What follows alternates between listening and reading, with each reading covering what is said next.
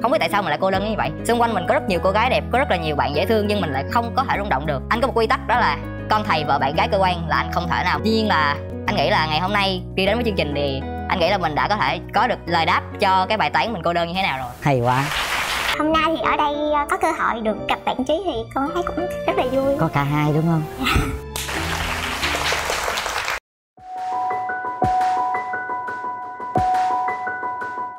chào quý Huyền Linh, chào chị Ngọc Lan. À, Chào quý vị khán giả và chào bạn nam bên kia. Em tên là Ngọc Kiên, à, em 21 tuổi, quê Tiền Giang và hiện tại đang uh, sinh sống và học tập tại thành phố Hồ Chí Minh. Em đang học gì? Dạ em học uh, ngôn ngữ Anh. Học ngôn ngữ Anh hả? Rồi, bạn uh, Kiên hả? Dạ đúng rồi. Mạnh mẽ quá vậy. Dạ. Bạn Kiên 21 tuổi quê ở Tiền Giang, Tiền Giang. Đang Rồi. sống ở Sài Gòn. Trời đất ơi sao trẻ dữ vậy? 2K đó hả Dạ 2001 ạ. 2001 đó hả? Dạ. Không lo học hành kiếm chồng sớm vậy con. Trời ta kiếm bạn trai cho nó vui vẻ, học cho giỏi. Rồi bên đây. Lời nói đầu tiên con xin chào đến quý vị khán giả Cũng như là chị Ngọc Lan, chú Quyền Linh. Chào con. Và bạn nữa bên kia Con tên là Minh Trí. Hiện tại là con đang học tại trường Đại học Sân khấu Điện ảnh Thành phố Hồ Chí Minh khoa đạo diễn điện ảnh truyền hình. À. ngoài ra con cũng là một giám đốc sản xuất của công ty uh, trách nhiệm hữu hạn truyền thông ngôi sao trẻ con cũng bằng tuổi với bạn bên kia 21 tuổi. Thôi thôi nhưng mà năm sinh của con thì là 2000 là ừ. nếu như xét thứ tuổi con lớn hơn bạn một tuổi. Quê của con ở tây ninh ạ. À. hai bạn rất là trẻ luôn. Mình có ưu điểm khuyết điểm gì vậy con? Ưu điểm của con là một người khá là hòa đồng hoạt bát có trách nhiệm cao trong công việc. Ngoài ra thì con cũng hay vui tính và khá là nhây. Rồi mời uh, nhà gái Dạ, ưu điểm của con thì là theo bạn bè nhận xét thì kiểu con cũng thân thiện, vui vẻ Với lại là con rất là chịu khó lắng nghe người khác ừ. Còn khuyết điểm thì con hơi nóng tính một xíu Với lại là kiểu con hay suy nghĩ nhiều quá Rồi sao các bạn gái lên đây hay suy nghĩ nhiều quá ta? Suy nghĩ ít ít lại cho sướng bao nhiêu mối tình rồi? Thật ra nói về mối tình thì cũng không đúng tại kiểu như là con chỉ tìm hiểu thôi thì có tìm hiểu được ha hai bạn. Mà kiểu như là mình cũng còn trẻ đó thời gian tìm hiểu cũng ngắn nên là chắc không tính là mối tình đó ờ rồi vậy không có gì bên đây không có gì hết trơn nha. Bên đây uh, tình duyên sao rồi? Dạ con uh, có hai mối tình ạ. Ừ. một mối tình kéo dài 2 năm và một mối tình kéo dài trong vòng 3 tháng. Cái mối tình 2 năm đó thì chắc con xin không kể vì nó là mối tình học sinh. Còn mối tình 3 tháng thì con nghĩ là đây là một cái kỷ niệm mà con nghĩ là trong cuộc đời con sẽ không bao giờ quên. 3 tháng mà 3 nó... tháng thôi ạ. Và uh, mối tình này là mối tình con một người bạn gái làm cho con bị mất việc là chỉ vì cái sự nhiều chuyện của bạn đó và con bị mất một công việc rất là quan trọng. Khi mà mới đầu năm mới là con vào con bị mất việc. Trời đất vậy mà mình mất việc cái có gì ấn tượng lắm. mình xù người ta luôn hả? Cô nào tự nhiên làm bạn trai mất việc cây trời? Đó là những cái mối tình mà chú nghĩ cũng chưa có gì sâu sắc lắm.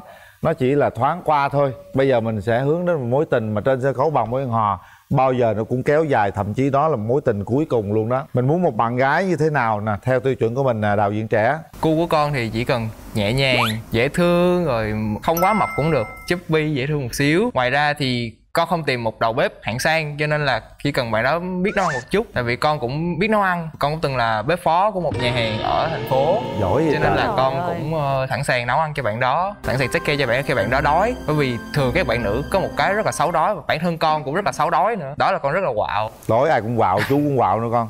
Ha. Đó. Đường tình duyên ờ, nhà trai như vậy đường tình duyên vậy rồi nhu cầu yêu cầu vậy luôn. cũng không có gì gọi là quá Đúng khó rồi. khăn phức tạp không có gì hết. Xin mời ông mai bước qua đây ngó một cái. Thôi xinh gái quá. Nó nhẹ nhàng ha. Ừ tiền giang quê tôi trai gái đều đẹp hết trơn. Mình ở huyện nào vậy con? Dạ con ở thị xã ca lậy. Chú ở châu thành cách có một con làng ranh rồi qua tới luôn. Mình muốn ờ, tìm một người bạn trai như thế nào? Trước tiên là con tìm một bạn anh em cao hơn con xíu. Có cao. Biết quan tâm. Bạn này quan tâm số 1 luôn. Dạ và thôi như đó đi con cũng dễ lắm. Dạ. Bạn này đạo diễn một nhà sản xuất rất là quan tâm đến dạ. mọi người thậm chí quan tâm cả đoàn phim lo lắng coi đoàn phim luôn. Dạ không nhưng mà con muốn bạn đó quan tâm mình con à. Quan tâm mình con à. Rồi bỏ đoàn ai lo con? Cái kia thì mình quan tâm ít ít thôi. Đâu bỏ được. đoàn là bỏ tiền đó. Bỏ tiền ra đó con. Bước qua nhà bển coi coi cao ráo không? Cao có cao đạo diễn chào em uh, chào đạo diễn. đó. Cao nha dễ thương nha. Ừ. mình hay chiều chuộng bạn gái không? Dạ em không biết sao nhưng mà cái người mà em từng quen bạn đó ô huế và chỉ cần bạn đó nói là muốn ăn cái món đó thôi em sẵn sàng mua vé máy bay ngay lập tức ra ra với bạn đó. Lăng lắm. Vậy được không? Dạ. À. được vậy thôi chứ. Hôm nay uh, con đi với ai? Dạ hôm nay thì ờ, chỉ kéo theo được anh ờ, mario là biên kịch và là đồng đạo diễn với con trong các dự án của team. Dạ xin chào à, anh Quyền Linh cũng xin chào chị Ngọc Lan Dạ em là một người bạn cũng như là một người anh của bạn Trí Thì theo cách em nhìn nhận bạn nữ thì bạn nữ đúng là gu của bạn Trí Nhẹ theo kiểu nghĩa đen và nghĩa bóng luôn và bạn nữ này cũng rất là nhẹ nhàng đầm thấm và có một chút gì đó e ngại. Thì hy vọng nếu như chúng ta có duyên ở đây thì cái nợ là do hai bạn quyết định. Thì hai bạn có quyết định là bấm hay không để chúng ta là nợ của nhau thì đi xa được hay không là do hai bạn mà thôi. Em xin hết ạ. Mario có bồ chưa con? Dạ nhân đây em xin gả anh Mario ạ. À. Chị nào có nhu cầu thì cứ cứ liên hệ. Anh có nhà mặt tiền ở Đà Nẵng ạ. À. Dạ nhân đây thì cũng xin gả nhỏ em gái luôn. Dạ Thúy An Sinh năm 1995 Dạ dạ. Làm nghề make up. 96 96 hả? 96 trời ơi. 96 hả? 96 make up.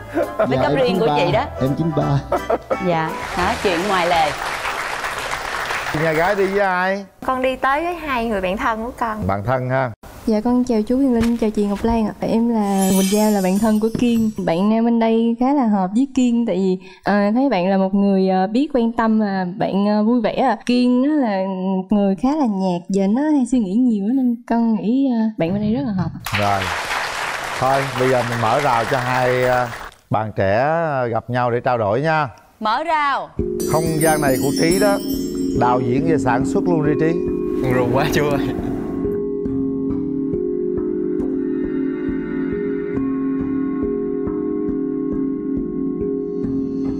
nay đến chương trình thì mình có một món quà tặng cho bạn.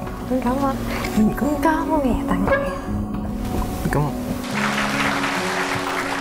chị hơi tò mò em tặng gì cho bạn gái vậy? Ở ngoài hộp quà em có ghi tên của em MTD là viết tắt tên của em viết tắt của tên tiếng Anh. Có hai nghĩa tên tiếng Anh là make the difference là tạo nên sự khác biệt bởi vì em luôn tạo một sự khác biệt trong mọi cái kể cả phim ảnh kể cả là trong cuộc sống của em. Ngoài ra chị MTD còn có nghĩa là my treasure darling có nghĩa là em là báu vật của anh và là uh, my darling. Wow. Món quà ngày hôm nay em tặng bao gồm một cái dây chuyền có một cái nhẫn và trên đó nó khắc một cái dòng chữ I love you. Ngoài ra là có ba cái cây kẹo tượng trưng cho ba thành viên trong gia đình sau này của em và bạn đó. Một cây nằm chẳng nên non ba cây chùm lại nên tình yêu của chúng mình các bạn thấy không? Đạo diễn của chúng tôi. Bây giờ mình đeo thử một món quà trong cái hộp đó cho Đúng bạn rồi. gái đi. Đây, cho mình xin phép đeo cho bạn. Đạo diễn làm cái gì nó không có ý của nó hết trơn. Rất là chu đáo thấy chưa? Vàng thì đeo rồi còn kẹo không ăn thì uh, mình xin đem về cho con mình được không? Trời đất ơi. Con mình thích ăn kẹo mút lắm. Một cây làm chẳng nên non ba cây kẹo mút nên đàn kiến bu bây giờ các bạn thoải mái nói chuyện đi cảm nhận về nhau thế nào? Thật sự là lần đầu tiên khi mà chắc xưng là mình mình nữa không ạ? Xưng anh em anh đi. em đi em lớn hơn tuổi đó. Cái nhìn đầu tiên của anh thì anh nghĩ là thật sự là em có một đôi mắt rất là đẹp. Như người ta thường có câu là đôi mắt là cửa sổ của tâm hồn. Và em vừa mở ra được tâm hồn của anh. Wow trời ơi đạo diễn nói câu nào nhức nhối câu đó. Ngày hôm nay là cũng là đến đây được cũng là anh và em cũng gặp nhau được là do cái duyên. Hy vọng là anh với em cũng có thể trò chuyện với nhau nhiều hơn để hiểu nhau hơn. Có thể là sau này mình hãy đi một quãng đường xa hơn với nhau. Anh rất là mong happy ending sẽ là được mời chị ngọc lan và chú quyền linh đến đám cưới của hai đứa mình bạn làm như vậy là bạn đã học xong chưa? À, chưa mình vẫn đang còn học tại trường. À đang học đang làm. Luôn vậy thì chắc là thời gian bạn chắc bận nhiều đúng không? Nói về cái quỹ thời gian của một đạo diễn của một nhà sản xuất thì mình thật sự là ngày nói chung là một ngày là mình full lịch. Và mình làm việc tới 4 năm giờ sáng mình còn chưa ngủ. Cái giờ người ta đi ngủ là cái giờ mình sẽ thức cái giờ người ta thức là mình đi ngủ. Nhưng mình mong là khi mà mình có người yêu rồi thì người yêu sẽ là cái cái lý do để mình có thời gian dành cho người yêu nhiều hơn. Ờ cho mình hỏi tại nãy mình không nhớ rõ là bạn quê ở đâu. Quê mình ở tây ninh. Nhưng mà thật sự là mình rất là thích con gái ở miền tây. Dự định sau này của bạn là bạn làm ở sài gòn luôn đúng không? Em đi đến đâu xe anh theo đến đó. Biết cách nói vậy trời. Thực ra nghề đạo diễn sản nhà sản xuất chỉ có tại thành phố hồ chí minh thôi. Mới phát triển. Nhưng nó nói hay quá nghe ngọt ngào vậy sao cô không cứu con được nghe. Con không cứu con được rồi con ơi chắc để khởi động chương trình thì em xin gửi đến bạn nữ một bạn mashup hai ca khúc cũng gần đây cũng khá là nổi tiếng đó là dịu dàng là ngày em đến và phải chăng em đã yêu? Đứng lên biểu diễn luôn trí. Dịu dàng là ngày em đến sông nàng là bài hát đêm nhẹ nhàng người cất lên siêu lòng từng đêm mong ngóng bầu trời giờ là sân khấu nụ cười người là ánh sao giữa đêm thâu khiến trái đất lạc quên lối về. Hôm nay đi đâu? Anh sang đón Nhảy luôn nào trí lúc này mới có mưa vậy em đã đi ăn gì chưa?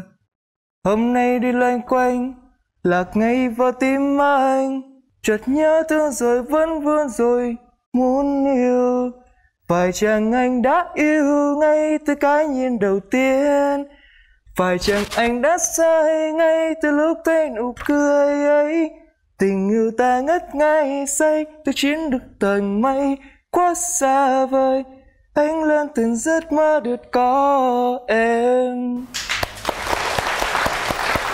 Bây giờ thôi mình nói chút xíu về hẹn hò đi. Hiện tại là em đang ở tiền giang. Dạ không em đang học trên sài gòn luôn là em ở đây với ai á? À, em ở chung với bạn. Quận mấy? Giới thiệu luôn. À, em ở nhà bè. Cờ bóc qua nhà bè thì nó cũng hơi xa khá là xa nhưng mà đã yêu thì sao mấy cũng thấy gần. Đúng rồi.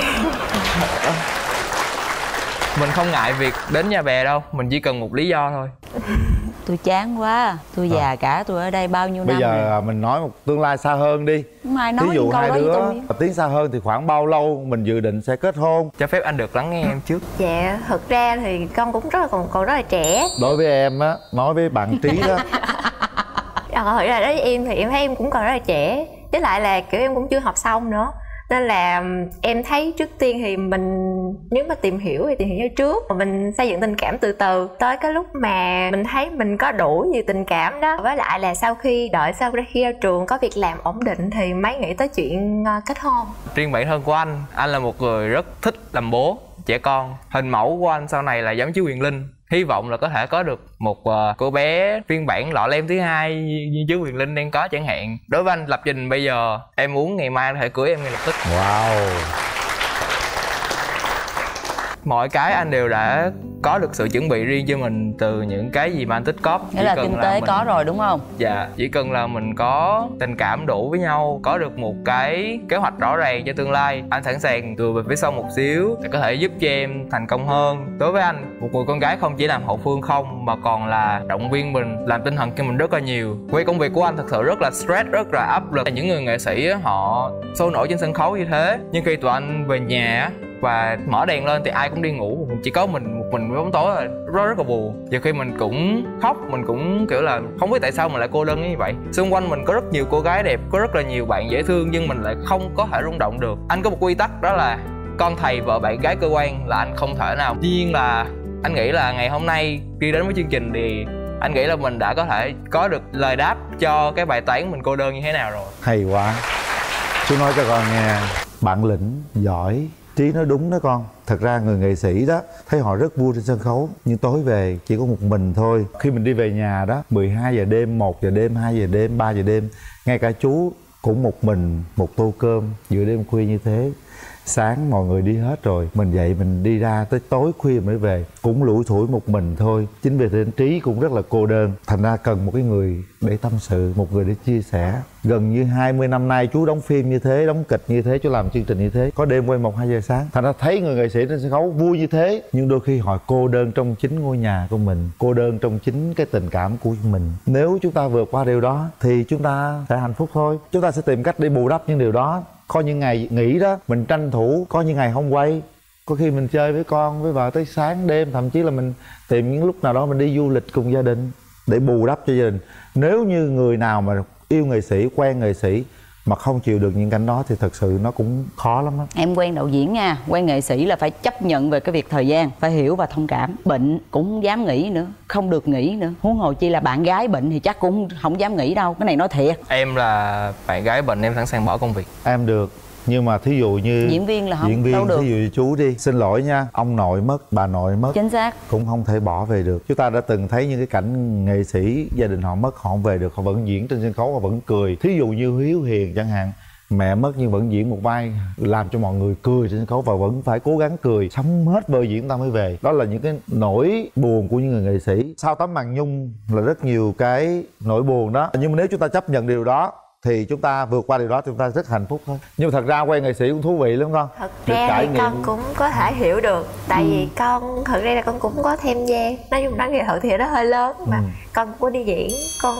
mình à. muốn quá à, tại dạ. con run quá con không diễn được à. cho mọi người con cũng quan trọng là về cái tình mặt tình cảm á ừ. thì con tới nay cũng 21 tuổi nói chung là so với người lớn thì mình vẫn còn nhỏ nhưng mà thật ra là con thấy 21 năm á con cũng muốn tìm một người có thể là ở bên cạnh của mình có thể ừ. chia sẻ những điều trong cuộc sống á nhưng mà con tìm không được khi mà gặp một người á mà mình kiểu mình cảm thấy mình cảm mến người ta người ta lại không có cảm tình cảm với mình nhưng mà khi một cái bạn nào đó bạn có tình cảm với mình á thì tại mình lại không có nhận được kiểu cảm nhận được là mình có tình cảm với người ta ừ. nhưng mà hôm nay thì ở đây ờ, có cơ hội được gặp bạn trí thì con thấy cũng rất là vui có cả hai đúng không yeah. Bây giờ à, trí tiến tới đi. Nắm tay à, bạn gái nào? Hãy nhìn nhau. Các bạn nhìn thẳng vào mắt nhau. Ngày hôm nay thì à, uh, đứng trước một cô gái xinh đẹp như em đứng trước uh, tất cả mọi người trong trường quay chị ngọc lan và chú quyền linh. Cũng cảm ơn chương trình vì đã có xe duyên cho anh và em được gặp nhau. Thì hy vọng là mình có thể tìm hiểu sâu hơn và có được một cái câu chuyện đẹp.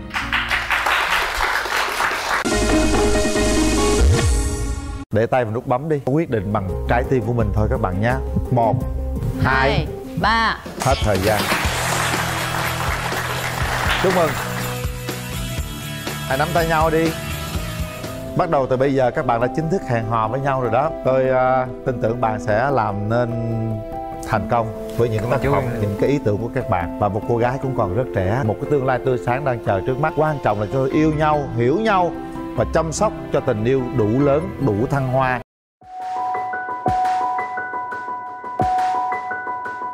Mời bạn nam. Oh. xin mời bạn nữ. À, xin chào. Rồi em trai uh, giới thiệu về mình đi em. Dạ em xin giới thiệu em tên là nguyễn long hồ. Long hồ vĩnh long á hả? Dạ. Em sinh ra ở cái bè tiền giang Dạ em lớn lên là ở An Giang và hiện tại đang sinh sống ở An Giang. An Giang là ở tại thành phố Long Xuyên hay là ở đâu? Dạ gần thành phố Long Xuyên anh. Em làm nghề gì? Trước đó thì em ờ, có học ờ, tài chính ngân hàng. Nhưng sau khi em học xong rồi em nói ờ, đi làm á, lúc em đi làm á, em cái cảm thấy nhận được là vài tháng là em có có muốn đuổi giám đốc, tuyển giám đốc mới. Cái nó không phù hợp với công việc á. Cái thôi em về em làm nông. Học xong tài chính ngân hàng xong về làm nông Giờ tức là em làm ruộng ở dưới quê đó hả? Dạ em thì à, làm ruộng, em làm vườn Làm ruộng vườn trồng được cái gì? À, nhà thì trồng lúa, à, trồng sầu riêng, bưởi da xanh, ổi rồi đó, tất cả à, các thứ Rồi Vậy bây giờ xin mời bạn nữ mình giới thiệu về bản thân mình nè À, lời đầu tiên em xin kính chào uh, quý vị khán giả tại trường quay. À, chào chị Nam Thư, anh Quyền Linh. À, em tên là Quỳnh Lê Thùy Linh. À, năm nay em 31 tuổi. Hiện uh, em đang sinh sống và làm việc tại An Giang luôn ạ. Dạ hiện giờ em đang làm trợ lý dự án. Ủa em ơi ở An Giang là em ở huyện nào vậy em gái? Dạ em ở tại Long Xuyên luôn anh. Rất hợp lý đó ta nói về một chút ưu điểm và khuyết điểm đi uh, bạn gái. Ưu điểm của em á là uh, em thích nấu ăn. Lâu lâu thì em suy nghĩ là những cái món ăn uh, nó lạ lạ nó độc độc uh, thì em thực hiện luôn còn bạn trai còn cái điểm mạnh điểm yếu của mình là gì? Dạ em xin trình bày điểm mạnh của em là em có thể sống độc lập được. Em có thể làm tất cả công việc nội trợ được. Em có thể làm những công việc mà tính sáng tạo đó anh. Làm mới giống như bạn kia là thích nấu ăn là chế, chế ra rồi tạo ra những món ăn mới này kia đó hả? Không em mà công việc thôi còn nấu ăn thì là thì thí dụ dạ, vậy đó dạ. em trồng được bao nhiêu ờ, lúa? Nhà em canh tác được 6 hecta đất nông nghiệp. Wow ở thành phố tôi có 50 mét rồi tôi muốn chết luôn rồi. Em có khuyết điểm gì không ờ, long hồ? Là em ờ, không thích thể hiện mình trước đám đông nhiều rất là nhát gái. Còn bạn gái có khuyết điểm gì không bạn gái? Dạ ờ, khuyết điểm của em á thì uh, thứ nhất là về ngoại hình của em thì nó không có được uh, xinh xắn như uh, mấy bạn gái khác lắm. Em tự nhận mình là em không có mập em chỉ mụm mỉm đáng yêu mà thôi. Ờ đúng rồi. Ờ không sao cả. Dạ khi mà ngủ á em hay có cái tật xấu là hay lăn lộn á chị. Tới cái tướng em gì mà em lăn là còn ok mà em còn lộn nữa hả? À, em chỉ lăn qua lăn lại à, à thôi. Hết hồn, hết hồn bạn trai mình à, mình ngủ trên giường mình có nằm yên chỗ không ta? Em không xác định được là em có lăn lộn hay không nhưng sáng với sau thì có lẽ là vị trí cũ không còn là cái vị trí em nằm ban đầu đầu hôm nữa. Nói chung là hai bên đứa lăn đứa lộn suốt vậy cũng mệt lắm à. Bạn gái bạn uh, có mấy mối tình rồi? Em có được ba mối tình. Cái mối tình gần đây nhất mà cũng uh, chia tay cũng lâu rồi ạ. Bạn trai có mấy mối tình rồi? Em uh, thì trải qua một mối tình ạ à. quen nhau cũng được uh, hơn 4 năm. Bây giờ thì xấu nhưng mà lúc đó xấu hơn nữa bạn đi làm thì bạn thấy nhiều người đẹp hơn lý tưởng hơn hình mẫu đúng như bạn chọn. Em muốn tìm một uh, nửa yêu thương của mình như thế nào? Dạ đối với em thì em không trọng quan trọng quá về ngoại hình. À, em chỉ uh, quan trọng nhất ở người phụ nữ đó là trung thủy. Em thì không có song hình. Nhưng uh, đối với phụ nữ xăm hình thì em cũng không ngại nhưng mà thật sự thì còn trẻ anh xăm hình thì da mình còn sức sống á thì rất là đẹp. Nhưng khi mà mình lớn tuổi khoảng từ tầm tuổi bốn mấy đến 50 á là da lúc đó lão quá thì nó sẽ xấu nên em nghĩ là không xăm sẽ tốt quan điểm cũng rất rõ ràng ha. Còn bạn nữ yêu cầu một cái người yêu của mình về cái ngoại hình thì như thế nào? Ốm cũng được mập cũng được nhưng mà nếu mà ốm thì đừng ốm quá. Nhìn sẽ giống như số 10 vậy đó. Đừng có cái bụng to quá tại vì em cũng tròn bạn nó cũng tròn. Đôi khi á, là mình á, là có những cái hành động thân thiết á cái có thể là ôm chẳng hạn thì hai cái bụng nó sẽ bị dội lên nhau nó không có sát được. Để chị qua chị coi thử bụng sao. Thôi coi. Sao bụng vậy ở đây ngon cũng tròn do. Được không em dạ anh quyền linh thấy cảm thấy là xứng với em là ờ, được. Không em dễ thương á. Dễ thương. Đừng có sợ tròn bụng tròn bụng bự gì. Đàn ông bụng bự thì sang đàn bà bụng bự. Thì sao cũng sang như thường cũng anh sang như thường. Đúng rồi. Thành ra đừng đừng có lo cái vụ bụng bự hay không. Nhiều. thấy về phong thủy á đúng rồi. rất là thoải mái phóng khoáng. Đúng rồi. Về phong thủy rất là uh, hoành tráng. Đúng rồi. Tức là có tươi quăng sáng. của quăng của đệ đó. À rất là dễ thương. Tôi chịu đàn gái đó. Em chào chị đập tứ ạ anh nhà anh còn anh trai em trai gì không? Dạ nhà em thì em còn thằng em trai nhỏ em 7 tuổi. Em em chị thấy được. Quan trọng là sáu mẫu đất nữa. Đàn gái không thích đàn trai cái tật xấu gì nhất. Em không có thích là cằn nhằn với nói chuyện úp úp mở mở anh. Em có không em trai. Em không thích là em không nói luôn. À im luôn đúng không? Thấy chưa? Rồi có cái gì em ghét nhất ở đàn ông nữa không? Hói hói tí hói hói là tóc mớ gì không dài mày không biết xác định là hói hay không hói ta. Hình như nó hói mà nó nó làm luôn hết hói luôn á. Tôi thấy là ok. Đàn trai cho thư hỏi cái ví dụ mình à, mình có có có thích sở thích à, nhậu nhẹt đồ không ha? Tứ đô tường thì em ờ, không có đó, không có tham gia vào. Nhưng thật sự thì chia sẻ thì em có nhậu và nhậu rất là nhiều. Nhậu là tức là tủ lượng nhiều chứ không phải là nhiều lần nhậu thích nhậu la cà. Vậy uống được nhiêu chai? Bia có thể uống được một kích rưỡi rượu uống được 2 lít là đồ mạnh á. Dữ dằn luôn á nhưng mà cái mức độ đi nhậu mình có thường xuyên không? Hay chiều giống chiều đi làm về đi làm lúa rồi vậy về rồi lai gai đồ? Tiệc tùng hay là có sự kiện hay có gì trong gia đình thì mà, hoặc là bạn bè hay là người thân mời thì mình mới nhậu chứ. Là nhậu nhiều thì cái công việc thì bỏ ai làm chị? Đúng rồi người ta nhậu đám dỗ đám cưới đám hỏi đám quải người ta nhậu thôi. Bảo đảm là mình đàn trai là ít nhậu yên tâm.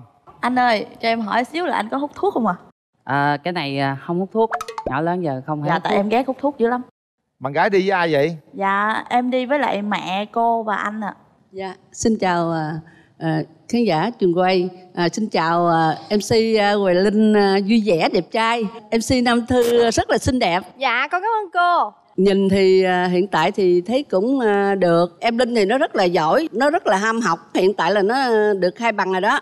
Thạc sĩ nó muốn đi thêm tiến sĩ nữa như vậy á, cháu à, Hồ có à, thể mà tiếp tục để cho con đường của à, em Linh đó à, có được hay không? Dạ được ạ, đó chị nói là rất bình thường. Thì muốn học thì cứ học Nhưng bản thân con cũng phải học để phấn đấu cho cuộc sống, công việc đồ này kia. Nếu em học nữa thì con ủng hộ. Nhiệm vụ của nó làm á thì nó đi suốt một tuần lễ có thể nó đi hết là 6 ngày đó có khi thứ bảy chủ nhật nó có đi nữa. À, như vậy thì con cảm thấy nó có khó khăn gì cho con không? Dạ con là không có Thứ nhất là không quan trọng ngoại hình Cũng không có quan trọng vấn đề công việc. Nhưng con đang cần một người phụ nữ là Dù cho có thể đi làm ở đâu bất cứ à, Yêu xa như thế nào Hoặc là lập gia đình mà hai vợ chồng không có thể gặp nhau được Nhưng vẫn phải trung thủy. Thí dụ con làm nông em nó đi làm việc vậy thì à, gia đình con với con có thấy nó có rắc rối gì cho con không? Dạ bản thân con thì con không ngại Tại vì à, mỗi người mỗi công việc Con nghĩ thì sau công việc thì vợ chồng gặp lại thì có vui hơn Hay là xúm xích bên nhau thì mà nó không vui thì cũng vậy à. Nói chung ban ngày việc ai nấy làm miễn Dạ. sao tối ngủ chung là được đúng không? Dạ. Cô ý thích của cô là muốn làm sao thí dụ như vậy đó thì à, chú rể thì cũng phải à, à, thương vợ biết cha mẹ biết nói chung là đạo đức thật là tốt đó. À, thấy ra đề ra nhiều quá phải không À, con nói thật thì con con cũng làm làm con. Em mà có đi lấy chồng thì bản thân cô cô cũng phải kỳ vọng về rất là nhiều về con rể. Tại vì bởi vì người đó là quyết định là hạnh phúc của con của cô đến cả đời. Đó những là đòi hỏi là tất nhiên và tất yếu thôi không có gì là sai lầm hết. Rồi hay quá. Giỏi quá hay trả lời xuất sắc. Em trai đi với ai? Dạ em đi với mẹ với anh họ ạ. À. à có mẹ nữa. Dạ con chào cô ạ. Em, em xin chào chương trình và chào MC Quyền Linh và Nam dạ. Thư Tam Tòng Tứ Đức đó là đương nhiên ai cũng mong muốn. Nhưng mà đối với tôi chuyện đó quá xa xưa. Công việc làm ăn của con tôi sẽ ủng hộ.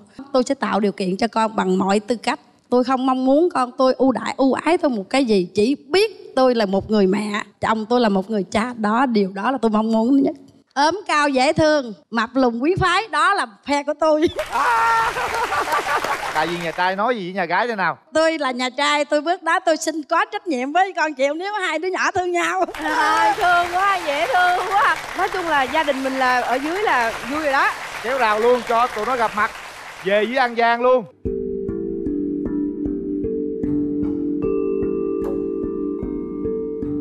Anh chào em, em chào. À, lần đầu gặp tiên đầu tiên anh gặp mặt thì anh có món quà tặng cho em. Thì em đến với chương trình thì em cũng có một cái món quà nhỏ tặng anh. Thì uh, em có thể mang cho anh được không ạ? Để cây xuống để cây xuống đi. Đeo đi. Đó hai cái mặt sát nhau rồi hung nhau bất ngờ đi. Được anh cảm ơn anh cho em hỏi là anh ở Thời Sơn là anh ở xã nào ạ? Xã Vĩnh Khánh em. Tại em cũng có đi công tác cái khúc đó. Khi kết hôn xong á, em nghĩ là em sẽ sống ở đâu? Em em sống với ba mẹ em gái và dì và bà. Bà đang bệnh cho nên là nếu mà được á thì là uh, em muốn uh, ở gần gần ngoài long xuyên có thể phụ tiếp mẹ chăm sóc cho bà. Thì em cũng đi làm nhiều rồi em nói vậy thì anh rất là đồng ý. Nhưng mà em có ngại là khi ờ, tại vì công việc của anh thì anh phù hợp với đó anh về anh làm đó rồi. Thế nhiều anh đi sáng đi chiều về hoặc là đi hai ba bữa thì chổng rồi anh đi về thì em có ngại không?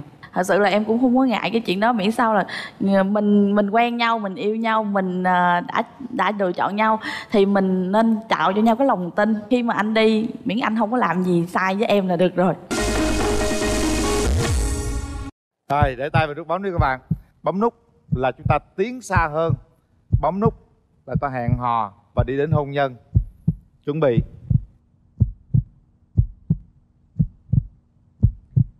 Ba hai. Một. Hết thời gian.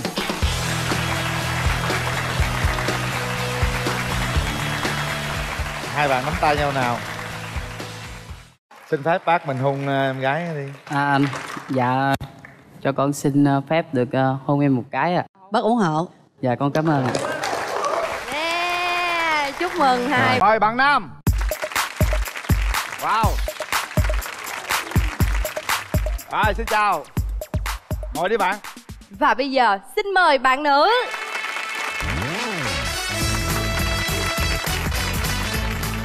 Bây giờ uh, bạn nam bạn nữ dạ, đã có mặt trên sân khấu rồi nha. Mời bạn gái bạn giới thiệu về mình nè. Dạ em tên là lê thị thùy quyên năm nay em 29 tuổi quê em ở bình định ạ công việc của em thì uh, em là kỹ thuật viên gây mê. Là mình sẽ gây mê cho bệnh nhân trước khi họ vào mổ đúng không? Dạ vô phòng mổ rồi gây mê. À biết Còn đâu ngoài được. đây gây mê được không em? Đó em cũng tính nói vậy đó.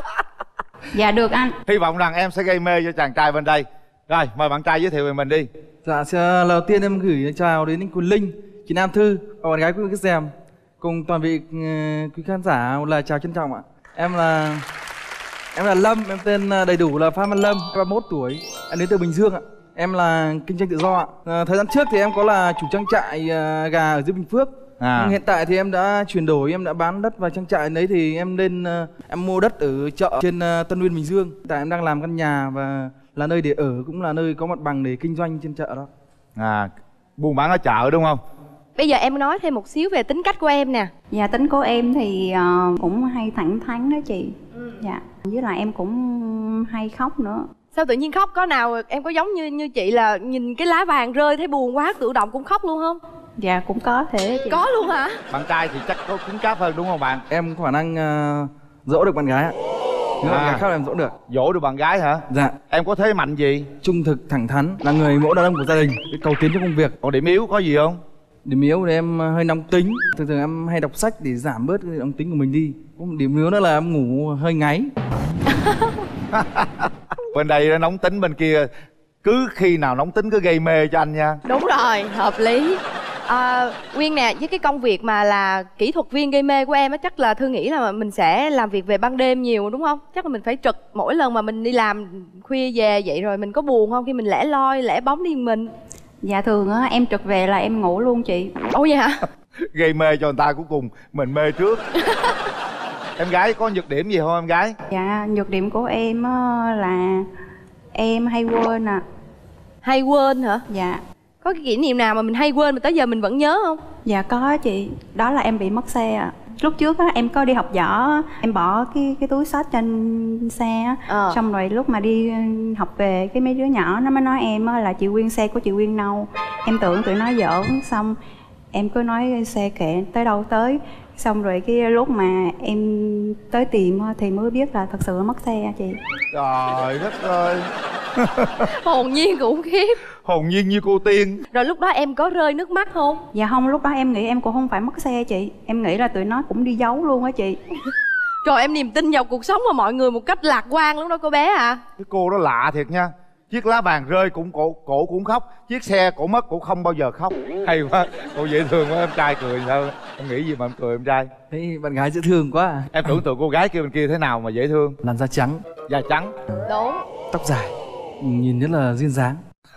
Duyên dáng. Và em đã trải qua mấy mối tình rồi? À, em trải qua hai mối tình là một mối tình uh, cuối thời sinh viên và một mối tình ờ, cách đây một năm quen nhau một năm ạ ừ đó. Bên đây lý lịch à, tình yêu là vậy đó. Còn bên kia thì sao? Dạ em trải qua hai mối tình rồi chị. Tình đầu tiên của em thì thời học sinh Còn mối tình thứ hai là thời sinh viên ạ. Sau cái mối tình đó em em ờ, có rút ra được một cái kinh nghiệm gì về tình yêu cho bản thân mình không? Dạ em rút ra kinh nghiệm là đừng nghe lời con trai nói ạ. Ây cha trời ơi đất ơi sao mà mất lòng tin? Dạ cho anh. gái làm gì tới mất lòng tin đàn ông dữ vậy em? Dạ tại anh đó nói với em á là à, dù em có ở đâu anh cũng tìm tới. Rồi ông có tìm tới không? Dạ không ạ. Ông nó kỳ lạ. Mình mình đừng có quơ hết vô tội Ừ. nghiệp Hiểu không? Bản thân anh Linh nè Anh Linh mà hứa gì lên là sẽ làm. Đúng anh không anh hứa Linh? là anh làm. Đúng. đôi khi anh hứa hoài mà cũng chưa làm luôn cũng có. Quên đó. Em. Em thí dụ em hứa em có nhớ không? Có chứ nhớ suốt đời luôn. Thề đi. Thề luôn. Anh ơi Không đâu anh Linh ơi Anh đàn ông với đàn ông Nhiều khi nói vậy để em qua em hỏi thử coi thử Nè em đàn bà phụ nữ hỏi thẳng mặt Em nhìn và em biết là em em hỏi tin đi được hay hỏi không? thử đi đó. Đây nè. Ôi, Trời ơi. gái quá. Chào anh.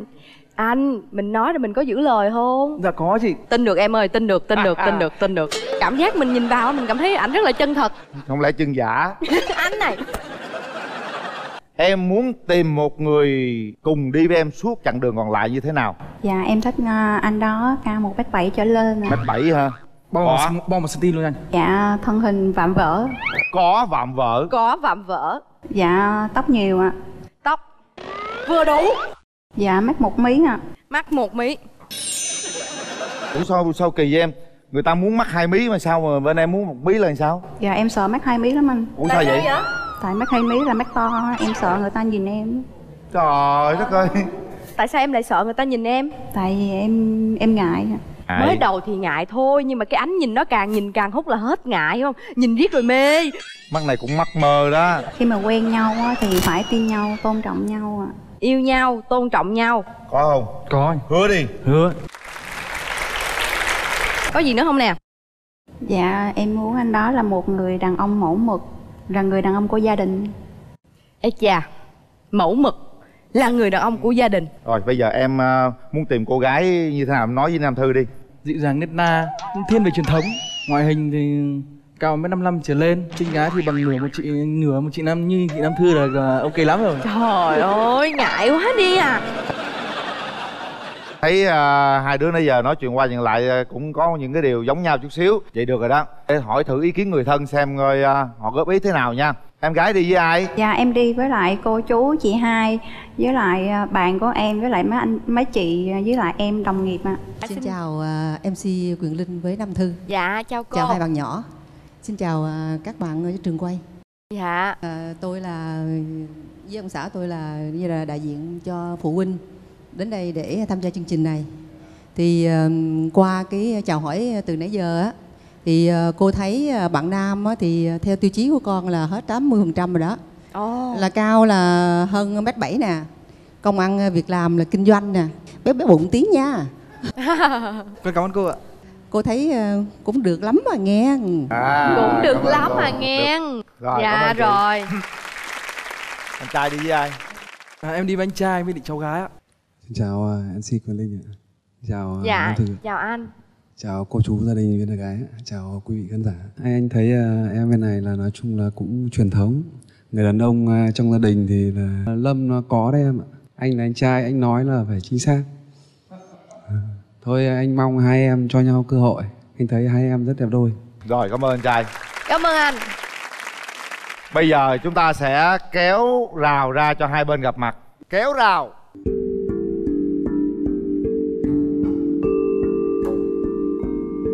chào em anh có bó hoa tặng em Dạ, cảm ơn anh ạ.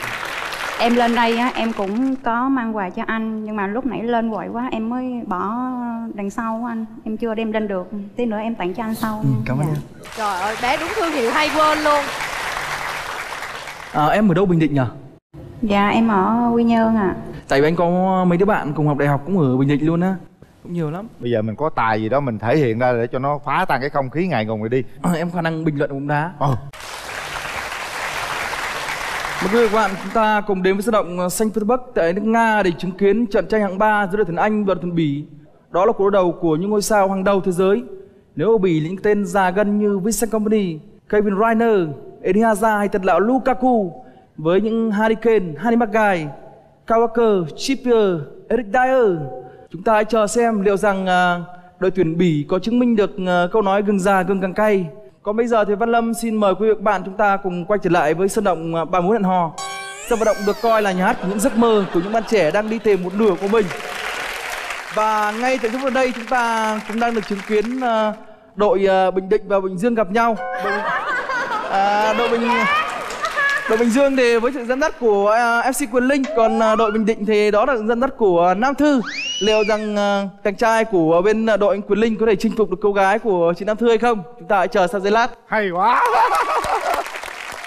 thiệt tung tuyệt chiêu cuối một cái là bên này em đứng bên này đổ đứ đừ luôn sao bé em thấy sao cưng Dạ em cũng tính á là sẽ tặng cho anh bài thơ Nhưng mà lúc nãy là chưa kéo tấm rào qua Bây giờ kéo qua rồi nên em không có đọc được nữa. Ủa sao kỳ vậy? Tại sao Tại vậy? vì cái cái cái bài thơ đó nó có liên quan tới cái tấm rào rồi. coi như giờ rào đang đang coi đang như có đang, rào đang đi. đóng đây đi. đây đây. Đây, đọc đi bé. Coi như anh với thư là cái rào đó Ừ, bắt ừ. đầu. Giữa triệu triệu người ta chẳng dễ biết nhau. Nhờ thư linh Ta nên duyên hò hẹn. Giữa tấm rào Lòng phập phồng lo lắng Mình nợ gì nhau sau những lần hò hẹn. Xong rồi ạ. Trời ơi! Ủa vậy vậy tấm rào đứng đây làm gì? Dạ tấm rào có nghĩa là em em sợ em lo lắng á. Cửa tấm rào em phập qua phò tấm rào. Qua tấm rào em phập phồng lo lo lắng, lắng. dạ. mở tấm rào em hết lo lắng em ơi. Em có hay đi du lịch không? Dạ thích anh Hy vọng là chúng ta sẽ có đi du lịch với nhau. em cảm nhận cô gái đối diện như thế nào Cô gái xinh, dễ thương, nhìn hiền. Nói chung là em chịu rồi đó. bây giờ em nhìn thẳng vô mắt anh ấy đi. Mắt anh ấy to không? Dạ có to hơn em. Rồi còn gì to nữa không? Em chưa biết. Người to vạm vỡ không? Dạ cũng được chứ không vạm vỡ lắm anh. Ủa em thích vạm vỡ dữ lắm hả? Tại vì mặc áo nên em không có biết vạm vỡ. Ạ. vậy cởi áo ra được không Dạ thôi cái đó từ tính sau ạ. Bây giờ là tóc tai giống như em nãy mong muốn không? Dạ cũng được anh. Nhiều không? Dạ không ạ. Vừa đủ ha vừa phải giống tóc anh linh vậy đó. Tóc gì cũng được rồi đó em. Tại vì khi có chuyện gì đó khó nắm ạ. À thì ra cổ thích gu tóc dài để lỡ có gì mà cổ dễ nắm hiểu không?